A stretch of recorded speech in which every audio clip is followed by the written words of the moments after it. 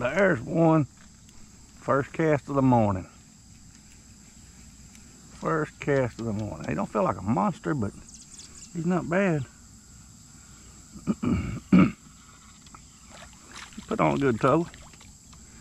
Yeah. I won't say he's not a monster, but he's a handful. That's a pretty good one. Pretty good one. That's a good way to start the morning.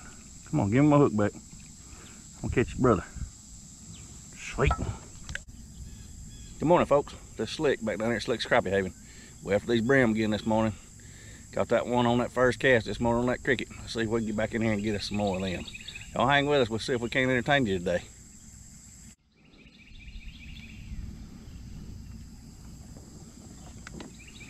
It's a beautiful morning out here this morning, guys. Caught that fish on the first cast. I think there's some more in there. It's like 77 degrees this morning. Dog days of summer. We're right here at the end of July. matter of fact, uh, today's the 1st of August. Throw that sucker right back in there and catch another on that second cast. This may be a fun day. Come in here, big boy. He's not big as that last one, but he's still big enough to eat. He's still big enough to eat. Quit that.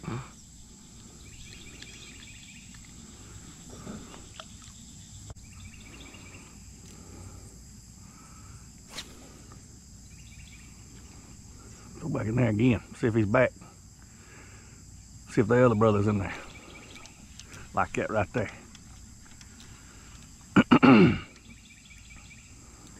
Seem to be back on the beds a little bit. We're about a, I think we're a week out from the full moon. Full moon was last weekend. So we're probably about the last quarter. Coming up on the new moon. These are some pretty decent brim up here on the banks this morning though, so they may still be guarding them fry or something in there.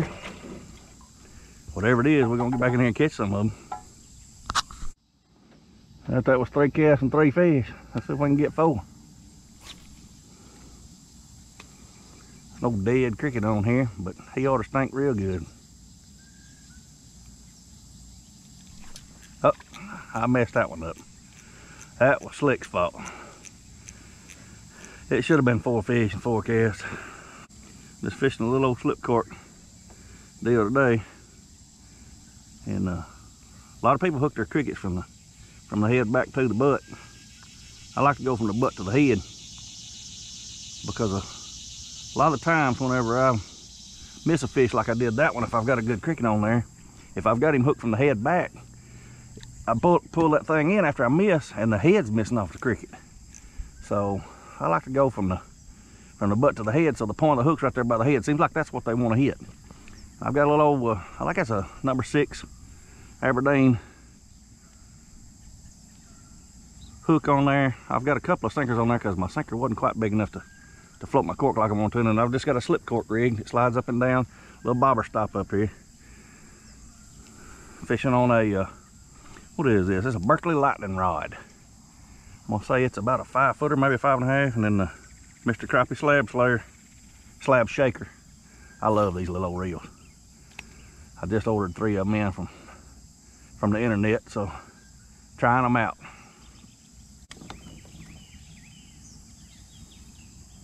Come on in there, buddy. There you go. There you go. That's the one I've been looking for.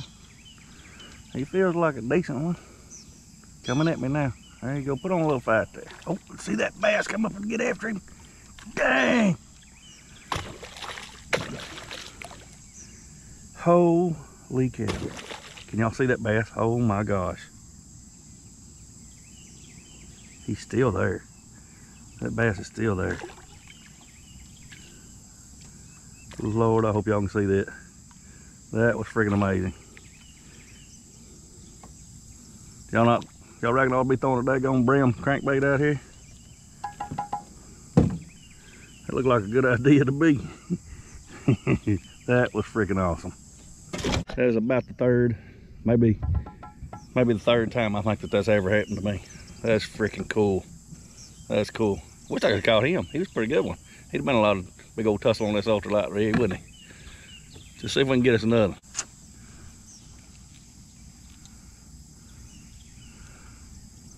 Well, that was cool. Big old bass. He probably weighed two or three pounds anyway. Here's us another. See if that old bass will come back this time. See if that old bass will come back this time. I don't think he's interested this time. We're just going to have to settle for the old brim. That's another decent one though. That's another decent one. We'll mess around and have a mess for supper anyway.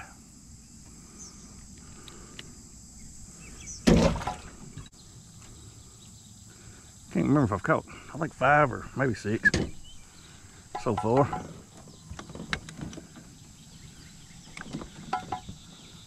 See if we can find number seven. Plus we had the big old, that bass come up there and entertain us a little bit. That was cool as crap. Look here. There's number seven. There's, yeah, seven or six. I can't remember.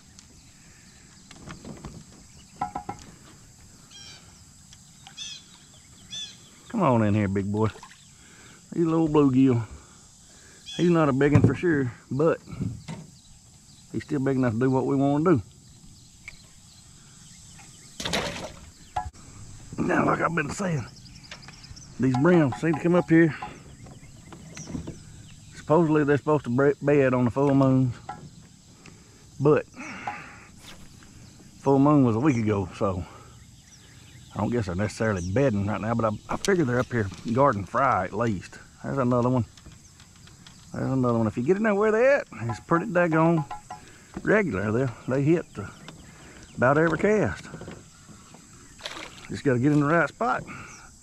That's a whole lot darker one. He's a lot darker than the last ones, but and a bigger one. Lovely. Let's see if it's another one right in here.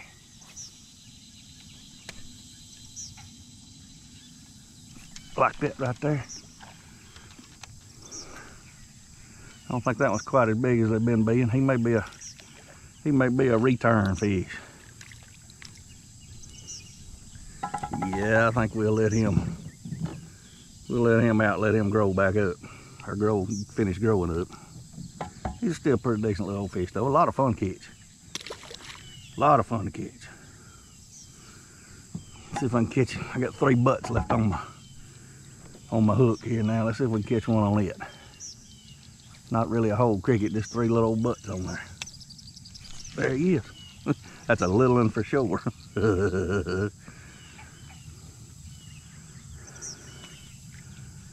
well, he's about like the last one.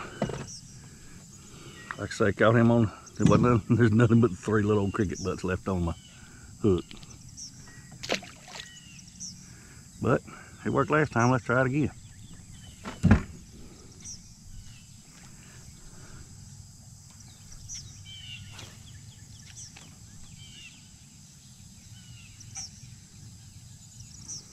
I got off just a little bit. I need to be about three foot to the right. Sometimes a foot can make a difference. I believe this is one of them times.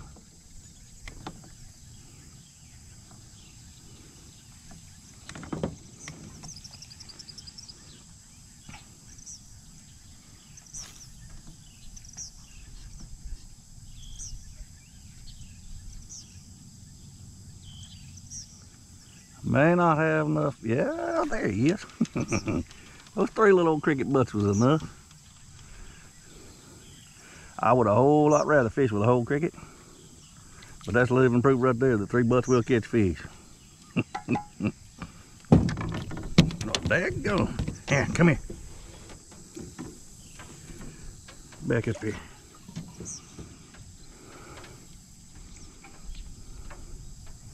I think we'll let him go too. That was a lot of fun. Thank you, sir. I better put a new bug on here. I am just about out of bugs though. That should have been money. Should have been money.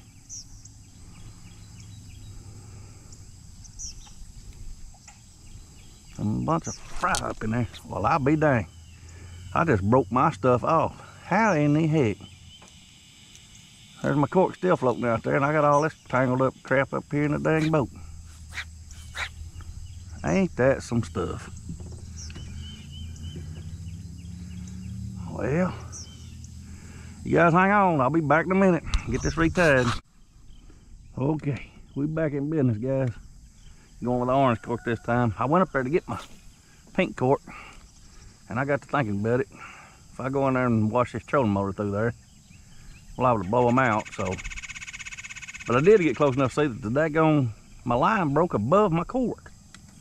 So I don't know. I must have stepped on it in the boat or frayed it somehow or another. Made a made a bad spot in it because it sure just snapped as soon as I set the hook.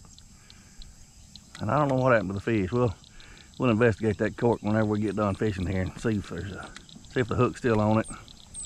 See if we can find any evidence. But the cork's just kind of floating around up there, so the fish isn't still on it. Let's see if we can find his brother though. There ought to be another in here ready to bite.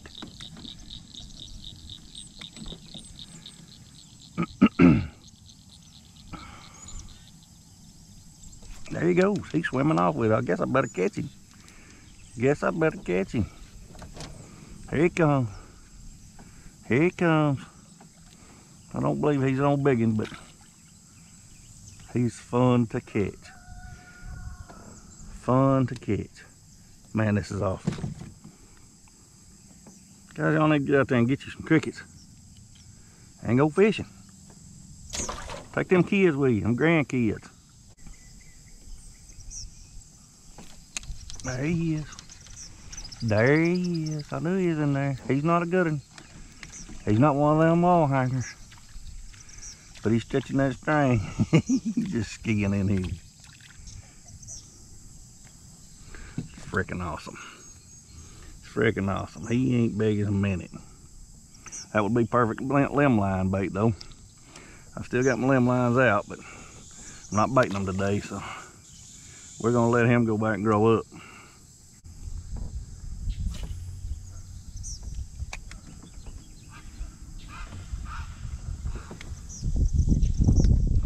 Look at here. Boy, I started come out of there running, didn't he? He was headed to the next county. He was headed to the next county. Get this old six pound crappie, Mr. Crappie fishing line, no high vis line. We'll jerk his butt back into this county. Yes, sir.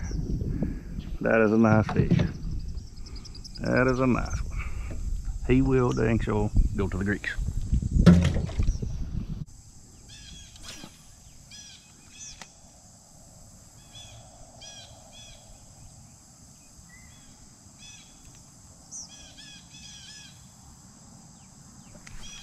There we go. There we go. He's fighting like he might be a little bit better than the ones I've been having to turn back anyway. He might be. He might be a keeper. Yeah. We're gonna call him a keeper. Alright guys. I'm gonna end up this fishing trip on this now. Y'all hang around with me though. I want to go back up here to the house and we'll skin these buggers out and have us a little catch, clean and cook. Now get me a, just an old kitchen spoon. Start at the tail. Work up here on the, we'll work up here on the top of the boat, the tail, the bottom of the tail. Bring it all the way up to the head. A little at a time. It'd be easier if you had a clamp, a cutting board with a clamp on it, where you can clamp that tail down. It'd be a whole lot easier to hold these things but I don't have one of those, so that might need, need to be a project for me to either buy one or just build one. I know they sell them at several sporting goods stores. Probably find them on, on the internet. I've always thought that didn't need one because I always fillet my, my fish starting from the head and coming back. But since I found this recipe from my, my Uncle Alan, told me about it, since I've got this and I don't have the drum to scale them in like they used to do it I have to use a spoon so I might be in my near future of investing into one of those fillet boards with a clamp on it All right, just knock the scales off of them. Let me rinse the table off a little bit. Now, fillet knife. Start behind the gill, down to the bottom, down to the backbone, turn 90 degrees, follow it out to the tail.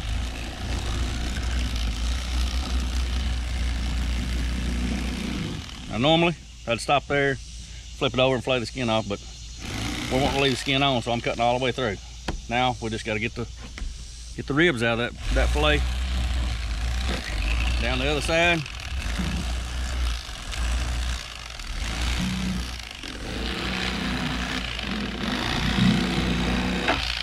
Just like it that.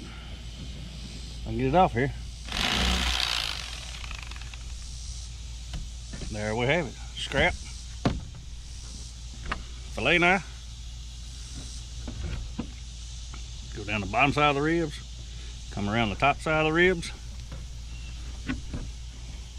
A whole lot easier to cut those ribs out when you don't have the skin on it, but probably need to sharpen my knife too. There's the ribs. They're in the trash. Here's our filet. That will end up being shrimp cocktail. Poor man's lobster.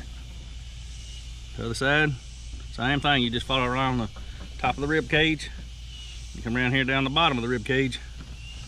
Got that little old V out of there. And like I say, with that skin on there, it's kind of tough to cut through. And I probably need to sharpen my knife, like I said. But that's it. Cut the ribs out, chunk them, and you're left with your just your fillet. All right, I'm gonna skin the rest of these, get the rest of these skinned out and uh, scaled, and we'll be back whenever we get ready to throw them in the boiling water. All right, we got these buggers ready to go in this pot. We got, uh, I've got about eight cups of uh, water in this, and a half a cup of swamp dust. You can use Old Bay or whatever, any kind of uh, Cajun seasoning that you want to use in there. And I'm just dropping these fillets in this water, boiling water. And we're gonna boil them for a couple of minutes and see, two or three minutes maybe, and see how this turns out. I bet it's gonna be good. Y'all hang around. I got some butter melted over here ready to roll. Got some cocktail sauce. We're gonna try them out. Y'all hang with us. Okay, so whenever I had this fish in here, mm -hmm. it kind of cooled this off a little bit. Cooled my water off, but I've got her brought back to a boil now. So we're gonna let her simmer. I've already set a timer on the on my microwave here. So two minutes is what I'm going for. We'll see how it does. It really should probably start floating. Just like it does in grease whenever you're cooking it in grease. You get it up 350 degrees on your on your grease. And uh, whenever the fish gets done, it'll float to the top. And this water, it should do the same. Of course, the water's not gonna be near as hot. Water boils at 212 degrees, so I'm gonna say if you had it up to 350, it would probably evaporate pretty quick. So, but anyway, we're watching these buggers. I can't wait. Chomping at the bit. Try this out. I know it's gonna be good. There ain't no way. Ain't no way it can't. I mean, it's brim. They're the sweetest fish in the lake. In this lake, anyway. They say walleye's better. Never ate walleye, so maybe one of these days we'll get up there and catch some of them. We're about ready for that timer to go off. Get pretty close. Another five seconds. That'll be two minutes. It's not really floating like I would expect it to. But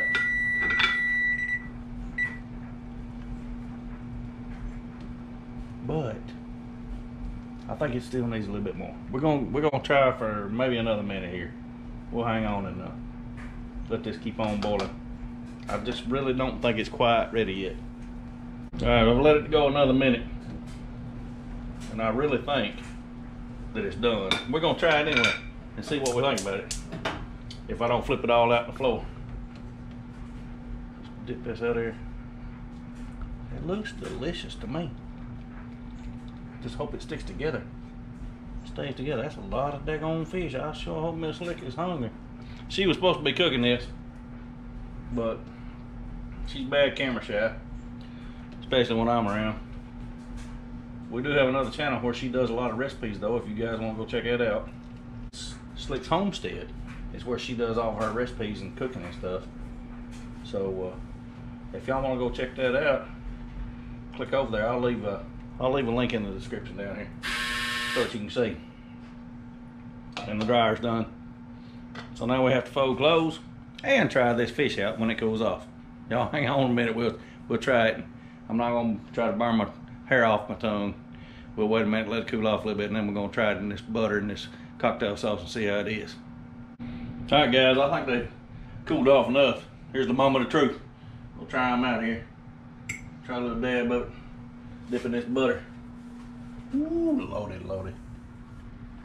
Mm. Mm. Yes. It's a lot like eating, I guess, lobster, but it's not quite as tough as lobster. It's more like uh, maybe some crab meat. Crab meat dipped in butter? Yeah, let's try the cocktail sauce. See how I do. Mm. Mm. That reminds me. That reminds me a lot of eating shrimp. They bring little shrimp cocktails out there, you know, little little bowl of cocktail sauce, got the little shrimps hung all around the side of it. That's kind of what it reminds me of.